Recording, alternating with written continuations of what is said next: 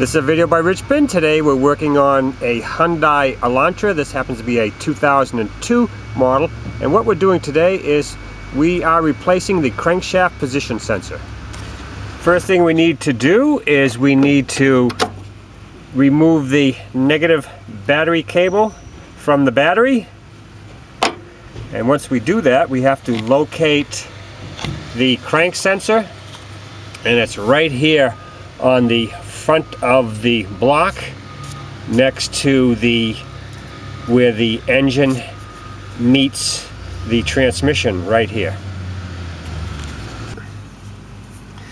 Now to remove the sensor you can see a little band right here that is very reminiscent of the ones on the uh, Volkswagens. So you would push that band in, which is the lock, and that removes the sensor. Here is the little wire right here, and you push that in, and then you can retract your electrical connector. Now underneath there is a 10 millimeter bolt that secures it into the engine.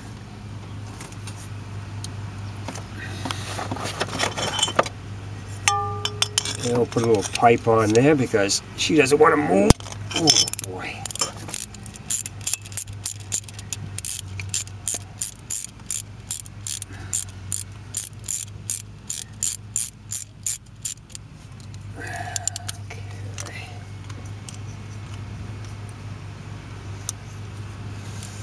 there's the bolt.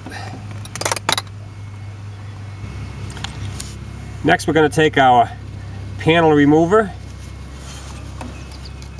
get underneath the sensor and pry it from the block. Okay, she's popped out. Usually the O-ring is the piece that holds it in there tight. Here it comes. And you can see that the O-ring is in the block right here. There it is.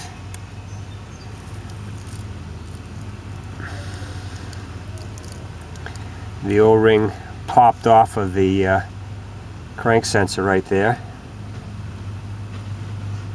So, that's all there is to removing the sensor. So all we have to do is reverse our steps, lubricate the O-ring on our new sensor, and that's it.